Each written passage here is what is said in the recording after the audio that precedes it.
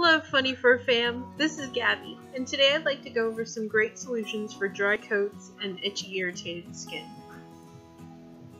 I have several products here that should hit almost every possible reason why your pet might have dry coat and itchy skin.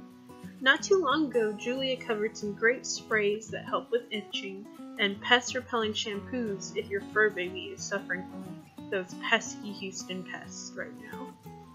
Check out links below for those two videos. Hopping right into it, my first solution is a dietary one. What does your pet eat in a day? Do they have any food allergies?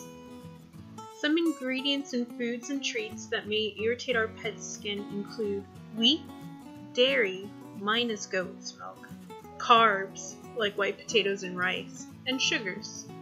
Unfortunately, a lot of the previously mentioned ingredients can be found in a majority of inexpensive foods and treats. That's why feeding raw can be a great solution for poor coat and itchy skin. Raw is great for dogs with allergies because you can find single protein foods and they have a lower amount of carbs, sugars, and wheat. We offer a lot of great raw options so it shouldn't be hard to find something that your pet will love. The next solution is a simple one.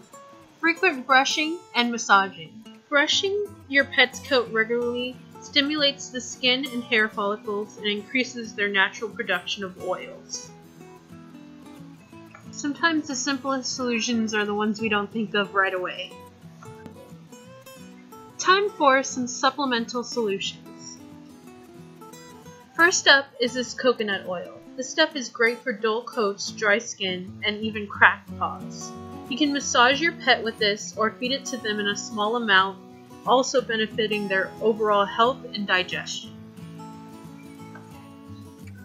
The next two products are very similar. They're both fish oil supplements that you can add to your pet's food.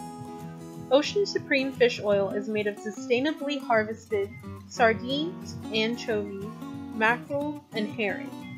Grizzly salmon oil is just salmon. They both provide a rich amount of omega-3s, nourishing your pet's skin and coat, strengthening their joints, and promoting healthy nervous, circulatory, and immune systems. And that's it. If any of the suggestions were helpful, or you have some remedies of your own, please comment below. Thanks for watching and subscribe for more informative content like this.